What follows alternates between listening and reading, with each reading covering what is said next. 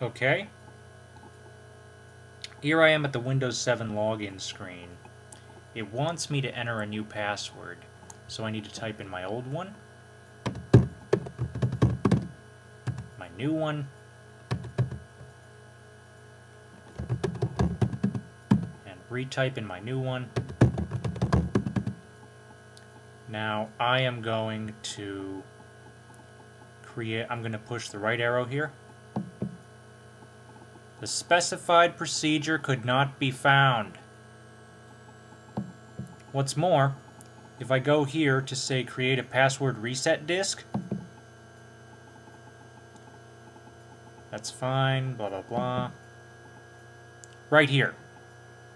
Floppy disk drive A. First of all, who uses floppy drives anymore? Second of all, where the heck am I supposed to find a floppy image? Again, I am running a virtual machine, and for those of you who do not know, I am running the publicly available um, beta, or what was publicly available at the time, that Microsoft gave away, the beta of Windows 7.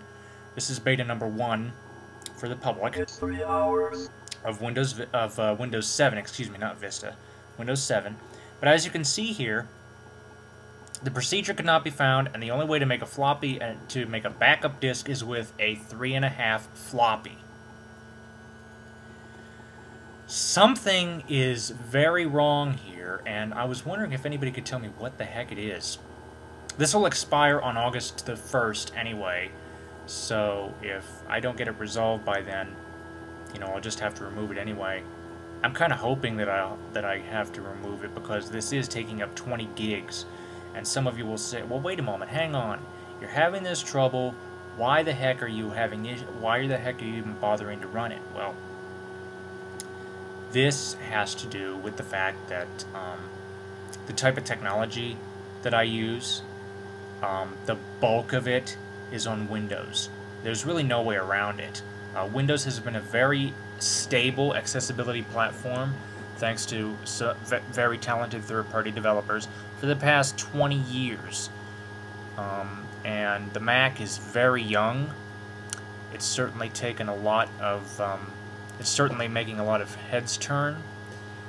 But the industry as a whole is not necessarily seeing the Mac as a platform just yet. It's going to take time to get some cross-platform software that meets our needs. Um, in the sense that um, for example, one of the book players um, has a piece of software that's Windows only.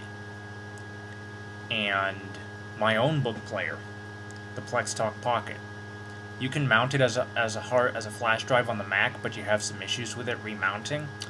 On Windows, it's basically built for Windows. The, the book player actually runs Windows, if you can believe that. It runs a Windows CE 5, the the Windows CE 5.0 core. Um, so that's basically why I need to stick up with Windows, is because um, Windows is not going anywhere. And as far as accessibility is concerned, um, you know, I don't see that changing all that much. Um, but yeah,